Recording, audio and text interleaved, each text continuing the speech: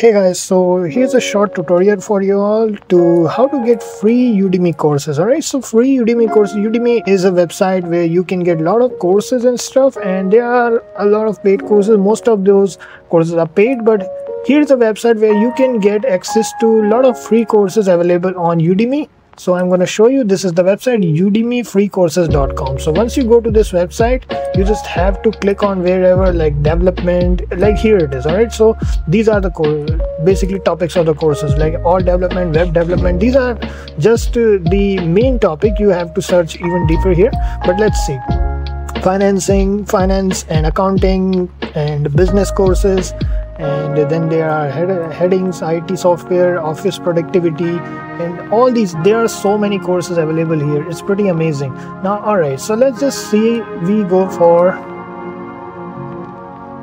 all development right? Under development it has got all development web development data science mobile apps programming language game development. So if you click on game development i decided to click on game development. So for game development you will get to this page right? So here you will get to this particular page for game development right? As you can see the header game development. And then if you click on any one of them let's say i click on scratch game programming. So if i click here it's to open this page it's to say redirecting.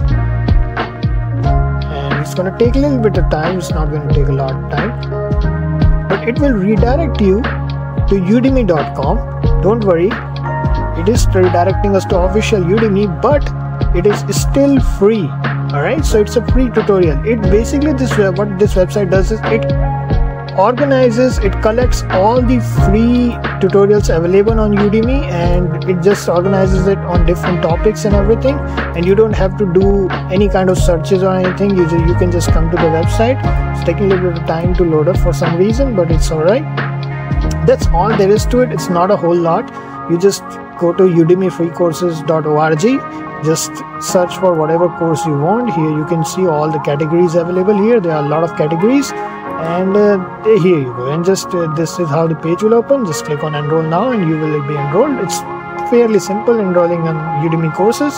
So that's all there is to it. And uh, i hope you like this tutorial. And uh, i will see you in the next one. Thanks for watching guys. Thank you